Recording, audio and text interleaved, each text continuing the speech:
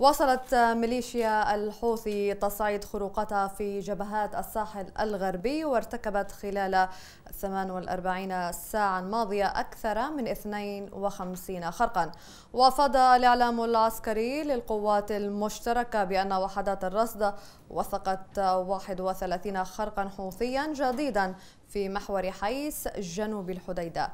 فيما وثقت 21 خرقا في محور البرح في قطاعي الكدحة ومقبنة.